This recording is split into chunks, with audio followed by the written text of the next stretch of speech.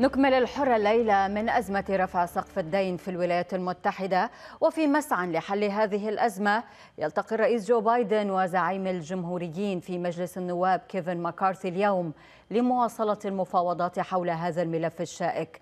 وكالة بلومبرغ أفادت نقلا عن رئيس النواب الأمريكي كيفن ماكارثي قوله إن محادثات الديون التي جرت صباح اليوم بين مفاوضي البيت الأبيض والكونغرس كانت مثمرة لكن لا اتفاق بعد. وأوضح ماكيرثي أنه يمكن التوصل لاتفاق على سقف الديون بحلول ليل الاثنين أو غدا الثلاثاء. وأشار ماكارثي في وقت سابق إلى أن موقفه لم يتغير بشأن ضرورة خفض الإنفاق لرفع سقف دين الحكومة في أعقاب اتصال مع الرئيس الأمريكي الذي تمسك برفض مقترحات الجمهوريين واعتبر أنها غير مقبولة. وتترقب الأسواق العالمية مشاهدين ما ستتمخض عنه مفاوضات الإدارة الأمريكية مع الجمهوريين في مجلس النواب. فلم يطرأ تغيير يذكر على الأسهم الأوروبية عند الافتتاح اليوم فيما أغلقت أسواق الأسهم الخليجية على تباين كما تراجعت أسعار النفط والذهب قليلا مع استقرار الدولار. فما هو انعكاسات رفع سقف الدين على الاقتصاد العالمي؟ وما هي تأثيراته على سعر الفائدة والأسواق المختلفة؟ وهل ستؤدي زيادة سقف الدين إلى رفع الضرائب؟ وما تأثير رفع سقف الدين على سياسة الرئيس بايدن ومحدودي الدخل. لن تكون ساعة الدين العام الأمريكي التي بلغت سقفها قبل أشهر عدة وحدها ما يخيم على لقاء الرئيس جو بايدن ورئيس مجلس النواب كيفن مكارثي بحثا عن تسوية تفضي لرفع سقف الدين. فعقارب الساعة الزاحفة بسرعة نحو مطلع يونيو الذي حدده المسؤولون الأمريكيون كحد أقصى لإيجاد تسوية لهذه المسألة تحت طائلة تخلف أمريكا عن سداد ديونها تلقي بالمزيد من الضغوط على كاهل المسؤولين خلال اجتماعهما. ولكن مواقف بايدن وحزبه الديمقراطي من جهة ومكارثي والجمهوريين من جهة أخرى لا تزال متباعدة على ما تنبئ تصريحات الساعات الماضية. فبايدن شجب عشية عودته من قمة مجموعة السبع بهيروشيما شروط الجمهوريين للموافقة على رفع سقف الدين والمتمثلة بتبني اقتطاعات واسعة على الإنفاق الحكومي كاشفا عن خيارات دستورية بديلة يقوم بدراستها لتخطي موافقة الكونغرس. لا يمكنني أن أضمن بأن الجمهوريين لن يجبرونا على التخلف عن سداد ديوننا بإقدامهم على عمل فظيع ما. وأدرس حاليا التعديل الدستوري الرابع عشر وأظن بأنه يمنحني الصلاحية لرفع سقف الدين من دون العودة إلى الكونغرس. ولكننا ننظر أنه وفي حال إذا لجأنا إليه وجرى الطعن بذلك قضائيا. فيما إذا كان هذا سيؤخر سداد ويضطرنا بنتيجة ذلك للتخلف. وأضاء موقف مكارثي بعد اتصاله الهاتفي ببايدن أثناء رحلة عودته من هيروشيما أيضا على الخلافات المستمرة بالرغم من وصفه الاتصال بالمثمر. ما أنظر إليه هي مواطن الخلاف الراهنة وكيف يسعنا حلها. وفي هذا الشأن تحديدا شعرت بأن محادثاتنا الهاتفية كانت بناءة ولكن ما من اتفاق وما زلنا متباعدين. وتزيح التقارير الإعلامية الأمريكية الستارة عن بعض نقاط التلاقي بين الجانبين بشأن الاقتطاعات في الإنفاق.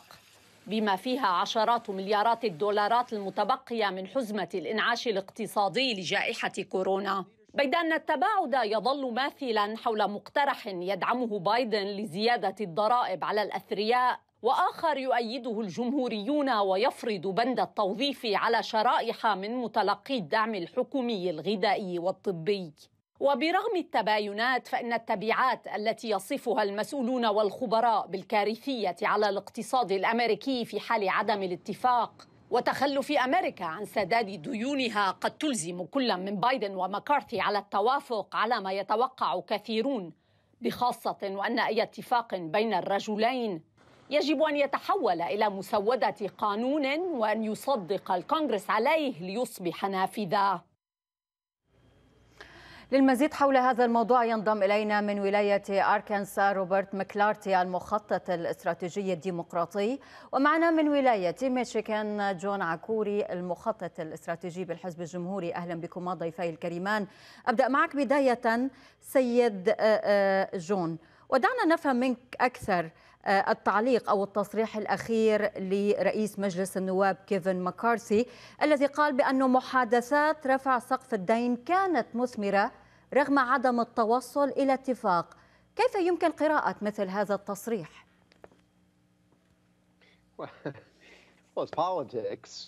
طبعا. Um, في إطار سياسي. uh, في الولايات المتحدة الأمريكية. وأعتقد أن الخبر الطيب هو أن الفريقين يجتمعان يتكلمان. وأعتقد أن هذا مهم ليس فقط بالنسبة لواشنطن بل للشعب الأمريكي. أن يكون هناك فرصة لرئيس بايدن ورئيس مجلس النواب أن يتكلما عن هذا الموضوع الأساسي. ورأينا هذا الفيلم من قبل ونعرف أن هناك الكثير من المسرح في هذا الإطار هناك وسائل الإعلام وهناك تصريحات وهناك تشديد على أن الوقت يمر أه. وأن الاتفاق ضروري ولكن السيد مكارتي هو رجل ذكي جدا وهو الشخص المناسب في الوقت المناسب ليتمكن من التفاوض مع الرئيس لإيجاد حل لهذه المسألة. السيد روبرت قد يوصف مثل هذا التصريح بأنه تصريح ضبابي ما بين محادثات مثمرة وعدم التوصل إلى أي اتفاق ونحن نتحدث عن هامش زمني قليل نسبيا عشرة أيام فقط للتوصل إلى اتفاق ما بين الجانبين. هل من الممكن تحقيق ذلك ربما الليلة أو ليلة غد على أبعد تقدير؟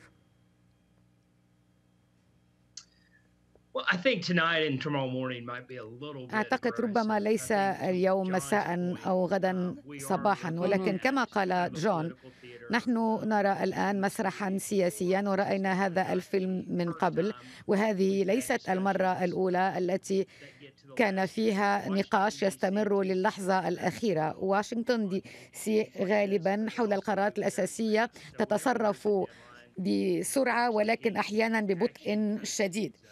وبالتالي عندما نصل إلى المحك أحيانا يمكن أن تسرع الأمور. أعتقد أن الرجل أن الرجلين يدركان أنه لا يمكن التخلف عن سداد الديون وأننا سنصل إلى اتفاق. وربما سيكون هناك خفض في الميزانية. كل فريق عليه أن يفوز في هذا الإطار. أعتقد أننا سنصل إلى حل.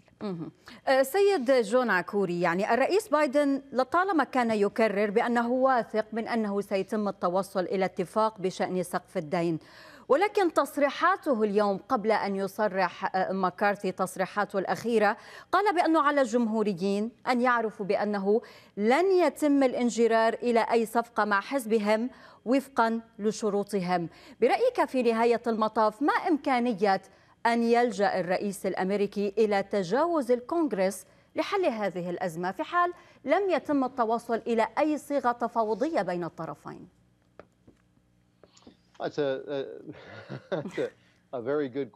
سؤال جيد جدا. لا أحد يعرف ما يفكر فيه الرئيس ومستشار الرئيس.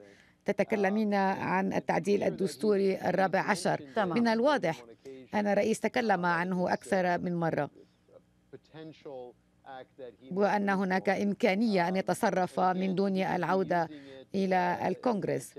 ويمكنه أن يستعمل هذا التعديل ليظهر أنه يتخذ مواقفا قوية لأنه سيرشح في الانتخابات سيترشح في الانتخابات. ولكن نفضل أن تستمر الاجتماعات بدل العودة إلى هذا التعديل في أيام الرئيس كلينتون. عندما زاد طلب البيتزا إلى البيت الأبيض أصبح الجميع يدرك أننا اقتربنا من اتفاق. طبعا الأيام اختلفت اليوم ولكن هناك حوار وهناك اجتماعات بين الفريقين والجميع يدرك أن الشعب الأمريكي يراقب عن كثب ما يحصل. وبالتالي هناك مصلحة للجميع في إيجاد حل ليس فقط التصريحات ولكن النتيجة النهائية. ما سيفعله الرئيس طبعا سنراه في الأيام المقبلة لا يمكن أن نتكهن ولكن أنا شخصيا لا أعتقد أنه سيعود إلى التعديل الدستوري الرابع عشر. ما رأيك سيد روبرت بذات النقطة؟ إن كان بإمكان الرئيس جو بايدن أن يلجأ إلى التعديل الرابع عشر لماذا يتحدث عن مفاوضات مع الجمهوريين وأهمية أن يكون هناك توصل لاتفاق. كان بإمكانه أن يتجه مباشرة إلى هذا التعديل وخصوصا أن عامل الزمن والوقت يلعب دورا حاسما. في هذه المفاوضات الدائرة حاليا وخصوصا أيضا أن التصريحات من جانب آخر هي تصريحات تلقي فيها الاتهامات ونفهم من خلالها بأنه كلا الطرفين لا توجد لديهما أرضية مشتركة حتى هذه الساعة. حجم الخلافات متباين بين الجمهوريين والديمقراطيين.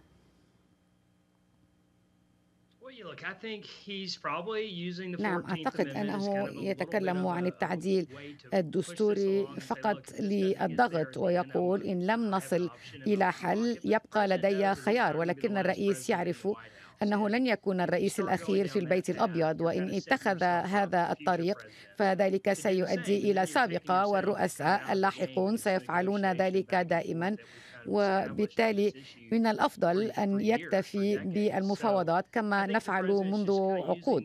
أعتقد أن الرئيس يستعمل التعديل الدستوري الرابع عشر فقط بهدف التلويح والتلميح وليقول أنه يمكنه أن ينجز حتى من دون اتفاق ولكن لا أعتقد أن ذلك سيؤدي إلى شيء آخر غير المفاوضة. دعنا نتحدث أكثر حول انعكاسات رفع سقف الدين معك سيد جون عكوري. كيف ستكون انعكاسات هذه الخطوة على الاقتصاد العالمي؟ هل سيكون أيضا هناك تأثيرات ربما على سعر الفائدة وعلى الأسواق الأخرى؟ طبعا سيكون هناك تداعيات. نحن نخرج للتو من هذه الجائحة الكبيرة. آه.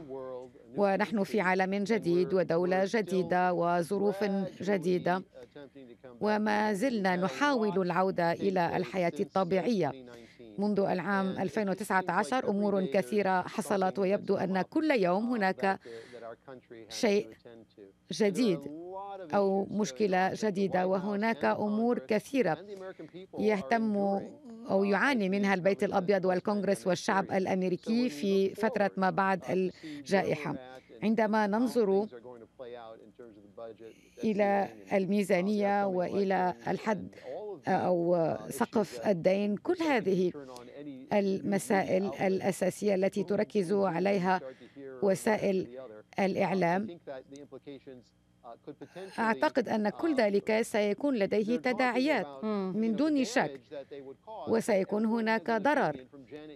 ولكن من جانيت يالن إلى جو بايدن إلى السيد مكارثي إلى اعضاء الكونغرس أو المستشارين للرئيس. كلهم لديهم آراء ولكن لابد أن يتكلموا وأن ينجزوا. وهذا ما نحتاج إليه الآن. كفى مسرحا سياسيا. سيد روبرت يعني زيادة سقف الدين هل ستؤدي إلى رفع الضرائب على المواطن الأمريكي؟ وكيف ستؤثر أيضا على محدودي الدخل داخل الولايات المتحدة؟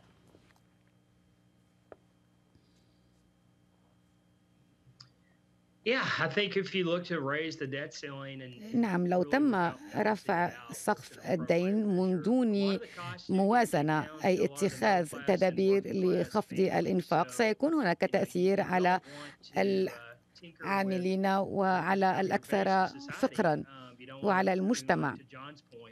وكما قال جون نحن عانينا كثيرا في السنوات الماضية بعد الجائحة والإقتصاد يتحسن ربما التضخم يتراجع. ولا أعتقد أن البيت الأبيض أو الكونغرس يريد مشكلة الآن. عندما نصل إلى الصيف في العاصمة واشنطن نفضل أن تكون الأمور هادئة بدلا من أن يكون هناك نقاش حاد حول سقف الدين. ولكن التأثير سيكون كبيرا على الرعاية الصحية الرعاية الاجتماعية على التأديات الاجتماعية على أمور كثيرة. ولا أحد يريد الآن أن يقوض الاقتصاد. رفع سقف الدين هو منطقي ولكن لا نريد أن يؤدي إلى نتائج كارثية. السيد جون في في ضوء كل هذه المعطيات التي نتحدث عنها، برأيك كيف سيكون شكل المقاربة ما بين الطرفين؟ وإلى أي مدى يعني سيكون هناك نوعا ما أرضية مشتركة في ضوء هذه التصريحات التي سنأخذ الجانب الإيجابي منها بأنها بالنسبة لهذا اليوم هي محادثات مثمرة حتى هذه الساعة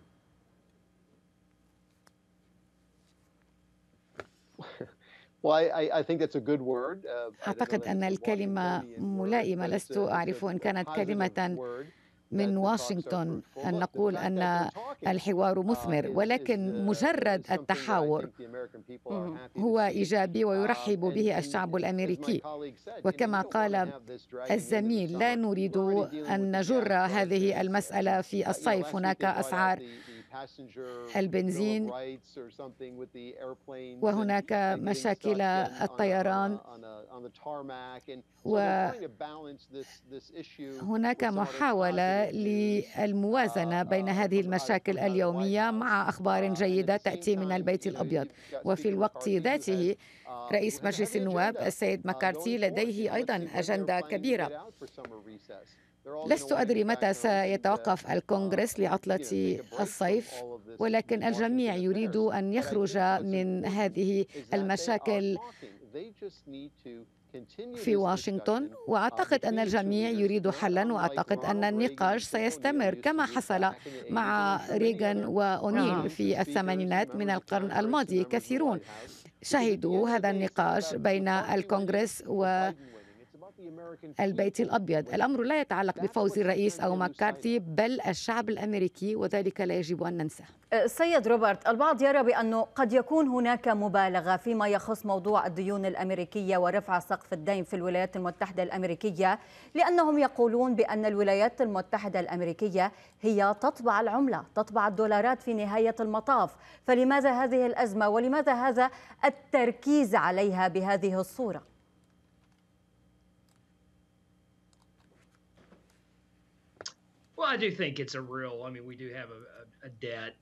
نحن لدينا ديون ولدينا فواتير يجدر أن ندفعها. وهناك دولة كالصين كالصين هي التي أقرضتنا أموالا كبيرة. ولا بد من أن نجد حلا بطريقة لا تؤثر سلبا على بلادنا أو على العالم. ولكن ربما الدين هو أكبر مما نقول. المسألة تتعلق مجددا بالسياسة في العاصمة وبكرة قدم. ننقلها من سنة إلى سنة إلى سنة. أعتقد أن مكارثي والرئيس بايدن سيجدان سبيلا للتوصل إلى حل. ونحن نتكلم خاصة أيضا عن التأديات الاجتماعية وهي مهمة في هذا الأطار. أعتقد أن التغيرات ستكون ضئيلة وأعتقد أننا سنصل إلى حل من دون شك. وأعتقد أيضا أن كل فريق سيقول نحن فزنا وحصلنا على ما نريده وننتقل الآن إلى مسألة أخرى أقل, أقل تعقيدا من هذه المسألة. شكرا جزيلا لكما من ولاية أركانسا الأمريكية روبرت مكلارتي المخطط الاستراتيجي الديمقراطي ومن ولاية ميشيغان جون عكوري المخطط الاستراتيجي بالحزب الجمهوري. شكرا جزيلا.